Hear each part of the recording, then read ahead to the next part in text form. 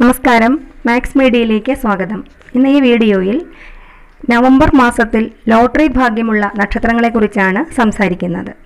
November മാസത്തിൽ വ്യാഴഗ്രഹം രാശി മാറുകയാണ്. മകരം രാശിയിലെത്തുകയാണ്.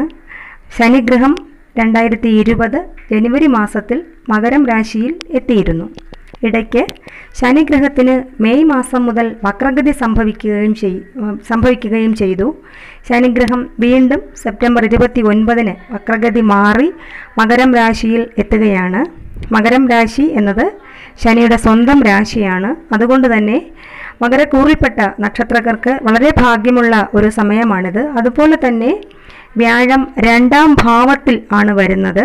രണ്ട് എന്നത് ധനഭാവമാണ്. അപ്പോൾ വ്യാഴഗ്രഹം എന്നത് സൗഭാഗ്യങ്ങളുടെ തരുന്ന സൗഭാഗ്യങ്ങൾ കൊണ്ടുതരുന്ന ഒരു ഗ്രഹമാണ് വ്യാഴഗ്രഹം എന്നത്. അതുകൊണ്ട് വ്യാഴഗ്രഹം രണ്ടാം ഭാവത്തിൽ വന്നതുകൊണ്ട് വളരെയധികം മാറ്റം പുരോഗതി ഉണ്ടാകുന്ന ഒരു സമയമാണ്. രണ്ടാം ഭാവത്തെക്കുറിച്ച് പറയുകയാണെങ്കിൽ അർത്ഥം കുടുംബം വാക്കും വലത്തേക്കണ്ണ് വിദ്യയും ഹേതു എന്നിവയെല്ലാമേ ദ്വിതീയഗ്രേ നിരൂപയെ എന്നാണ്. അർത്ഥം എന്നാൽ ധനം എന്നാണ് അർത്ഥം. അതുപോലെ തന്നെ കുടുംബത്തിന് വളരെയധികം ശ്രേയസ് ഉണ്ടാകുന്ന ഒരു സമയമാണ് ധാരാളം ധനമുണ്ടാകുന്ന ഒരു സമയം പറഞ്ഞ വാക്കിന് വില കൽപ്പിക്കുന്ന ഒരു സമയവും കൂടിയാണ് ആ വാക്ക് കൃത്യമായി പാലിക്കാൻ സാധിക്കുന്ന ഒരു സമയമാണ് ഇതെന്ന് പറയുന്നത്.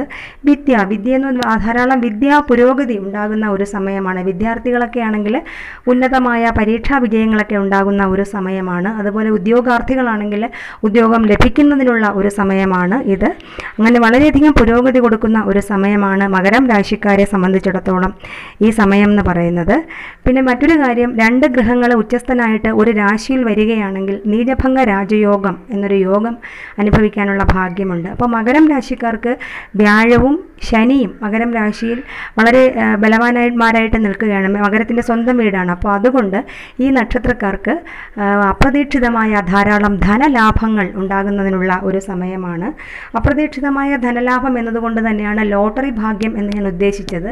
അപ്പോൾ അത് അപ്രതീക്ഷിതമായ ഒരു ധനലാഭമാണ്. അതുപോലെ തന്നെ നമുക്ക് കിട്ടാനുള്ള ധനം ഇത്രയും എന്തെങ്കിലും കാരണവശാൽ മുടങ്ങിക്കിടക്കുകയാണെങ്കിൽ അതുമെല്ലാം കിട്ടാനുള്ള ഒരു സമയമാണ്. അതുകൊണ്ട് മകരം രാശിക്കാരായ ഉത്രാടം അവസാന മുക്കാൽ ഭാഗം അവിട്ടം ചതയം ആദ്യ പകുതി നക്ഷത്രക്കാർക്ക് ലോട്ടറിക്കുള്ള ഭാഗ്യം ഈ നവംബർ മാസത്തിലെ വ്യാഴമാറ്റത്തിലൂടെ കാണുന്നുണ്ട്. അതുപോലെ തന്നെ മീനം രാശിക്കാരായ നക്ഷത്രക്കാർക്ക് ശനിയുടെ രാശി മാറ്റത്തിലൂടെ ശനി പതിനൊന്നിലാണ് വന്നിരിക്കുന്നത്. മകരം രാശിയിൽ ശനി എന്ന് പറയുന്നത് ശനിയുടെ സ്വന്തം വീടാണ്. അതുകൊണ്ട് തന്നെ വളരെയധികം ഉന്നമനവും പുരോഗതിയും ഒക്കെ ഉള്ളൊരു സമയമാണ്. ശനി ഉച്ചസ്ഥ ഉച്ചസ്ഥനായിട്ട് അവിടെ നിൽക്കുകയാണ്. അപ്പോൾ വ്യാഴം ഗ്രഹം എന്ന് പറയുന്നത് ഈ നവംബറിലെ രാ ഇപ്പോൾ പത്തിലാണ് സഞ്ചരിച്ചു കൊണ്ടിരിക്കുന്നത് മീനം രാശിക്കാർക്ക്. അപ്പോൾ വ്യാഴഗ്രഹത്തിന്റെ ശനി ഇപ്പോൾ നവംബറിലെ രാശി മാറ്റത്തിലൂടെ അത് പതിനൊന്നാം ഭാവത്തിൽ എത്തുകയാണ്. അപ്പോൾ ശനിയും വ്യാഴവും ഒരേപോലെ പതിനൊന്നാം ഭാവത്തിലെത്തി നിൽക്കുന്ന സമയമാണ്. പതിനൊന്ന് എന്ന് പറയുന്നത് ഭാഗ്യസ്ഥാനമാണ്. പതിനൊന്നിനെക്കുറിച്ച് പറയുകയാണെങ്കിൽ ഏകാദശേന വിത്തസ്യ ലാഭവും ദുഃഖനാശവും സർവ അഭീഷ്ടങ്ങളും ജ്യേഷ്ഠഭ്രാതാവും വാമകർണവുമാണ് പതിനൊന്നാം ഭാവത്തെക്കുറിച്ച് നമ്മൾ ചിന്തിക്കേണ്ടത്. അപ്പോൾ ധനം ധാരാളമായി ഉണ്ടാകും. എന്ത് ചെയ്തിരുന്നാലും ബിസിനസ്സിലൊക്കെ ചെയ്യുന്ന എന്ത് കാര്യത്തിലാണെങ്കിലും ലാഭമാണ് ലഭിക്കുന്നത്. അതുപോലെ തന്നെ ദുഃഖങ്ങളൊന്നും ഉണ്ടാകാത്ത ഒരു സമയം എല്ലാ അഭീഷ്ടങ്ങളും സാധിക്കുന്ന ഒരു സമയമാണ്. മൂത്ത സഹോദരനെ കൊണ്ട് ധാരാളം സഹായങ്ങൾ അല്ലെങ്കിൽ പ്രയോജനങ്ങളൊക്കെ ഉണ്ടാകുന്ന ഒരു സമയമാണ് ഈ മീനം രാശിക്കാരെ സംബന്ധിച്ചിടത്തോളം ഇതെന്ന് പറയുന്നത്. ശനിയും വ്യാഴവും ഒരുപോലെ പതിനൊന്നിൽ നിൽക്കുന്നതുകൊണ്ട് ഭാഗ്യസ്ഥാനമായതുകൊണ്ട് ഇതുപോലെ ഒരു ചക്രവർത്തി യോഗം എന്നൊരു യോഗം അനുഭവിക്കാനുള്ള ഭാഗ്യമുണ്ട്. ചക്രവർത്തി യോഗം എന്നാൽ ചക്രവർത്തിയെ പോലെ ജീവിക്കാനുള്ള ഭാഗ്യം ഉണ്ടാകുന്ന ഒരു സമയമാണ്.